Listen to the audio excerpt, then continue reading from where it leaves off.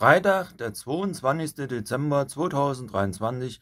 Hallo und herzlich willkommen zum neuen Video. Wir sind ja jetzt schon auf dem Sega-Treppchen oder wie man schön sagt. Ist nämlich nur noch Top 3, nur noch morgen und übermorgen, wo das Türchen geöffnet wird. Beginn macht wie gesagt der Netto-Adventskalender, da wäre das Türchen. Und da kommt halt ein Schlitten hervor, auch wenn es draußen kein Schneewetter ist. Zumindest hier in Hersfeld.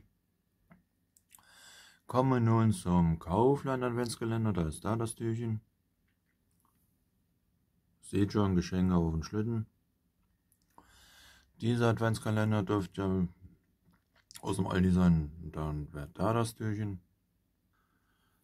Und wie ihr schon seht, auch das Geschenk auf den Schlitten. So, jetzt sind wir hier bei dem Wohl Lidl Adventskalender. Da ist da das Türchen keine Zeit, um Schlitten zu fahren und so. Ne? Jetzt kommt wieder der Adventskalender. Ist auch nur da, ist das Türchen. Ne?